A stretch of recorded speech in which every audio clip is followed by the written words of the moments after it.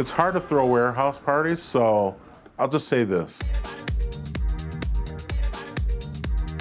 So I, I didn't play the rave scene, but I definitely partied on the rave scene.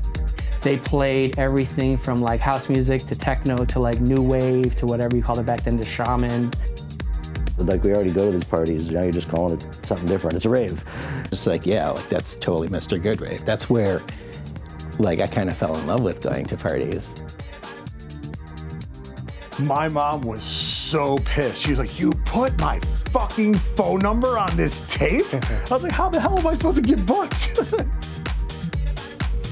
So everybody started calling it the acid track because most of the people that were going crazy to it was high as fuck.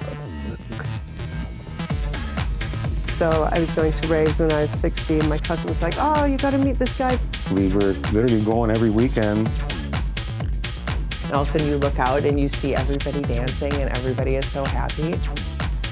You're either all the way in or you're all the way out.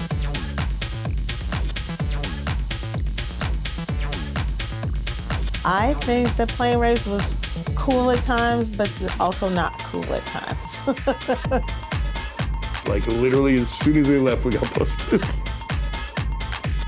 Tunes, I just want to keep throwing parties because the parties I throw now are more like creating a, like an experience. Fog and sound systems to wee hours in the morning, like that's that's what I'm happy to see is that it's it's continuing or the spirit of it all is continuing.